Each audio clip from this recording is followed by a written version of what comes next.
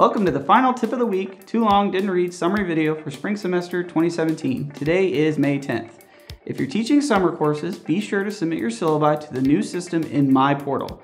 And if you have no idea what I'm talking about, look for an email from your dean with a link to a YouTube video in it. Watch the five minute video and you should be able to submit your syllabi with no problem. But as always, if you have any issues, feel free to let me know. Here's this week's articles and resources. First off, we have five keys to choosing a digital content platform. This one's a good read for anyone considering creating their own ebook or digital lab manual, but check out the Google link to find out more. Next up is an infographic, 24 Google Doc hacks to make your life easier. This is an infographic that is packed full of shortcuts. Heck, I've been using Google for 10 plus years and I picked up a few new shortcuts that I'm gonna try out. I recommend you bookmark the page and hang on to this great resource.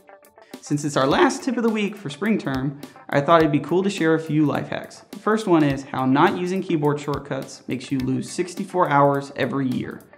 So, how many of the shortcuts are you already using? Check it out and see how your keystroke skills stack up. And then to wrap up the life hacks, I've posted a few funny and cool ones that you can use this summer. Let me know whether or not they actually work out for you when you get back to campus in the fall. Well, that's it for this semester. See you again in the fall for more tips and great tech to share.